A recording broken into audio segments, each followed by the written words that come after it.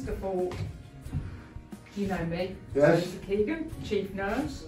Um, so I'm here today to talk to you about one of our staff awards.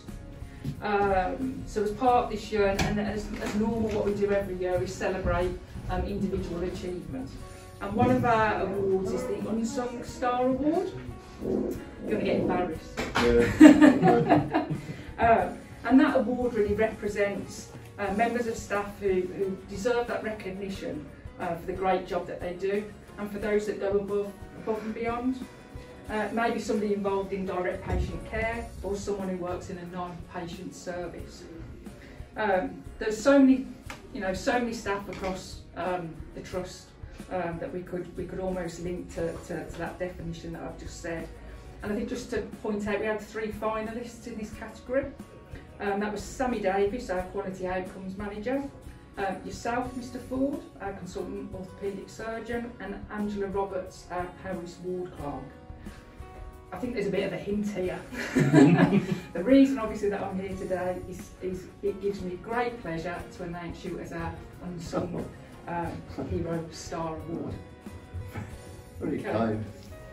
Can I just... Slightly embarrassing, but I just want to read this out because I think this really sums sums up um, why why we've awarded you with this. So you were nominated for your commitment throughout the COVID pandemic, especially for your work when we took on the trauma service for Shropshire, Telford and Wrekin. The way you led the trauma surgeons to ensure the process ran smoothly um, during that change in service was exceptional. And I think I speak on behalf of all, all our surgeons, colleagues, and certainly the patients that we treated during that time.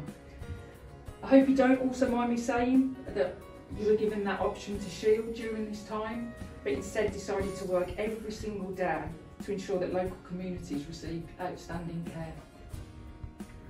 So, the prize.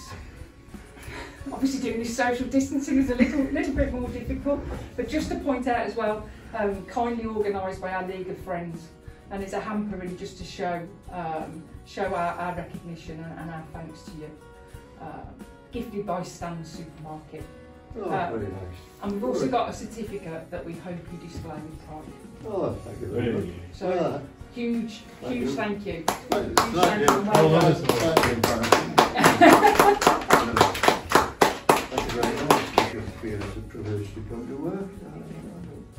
That's a really, uh, really, really kind thing to say. It really is, you know, and you're incredibly well supported by, you know, an awful lot of people. Yeah.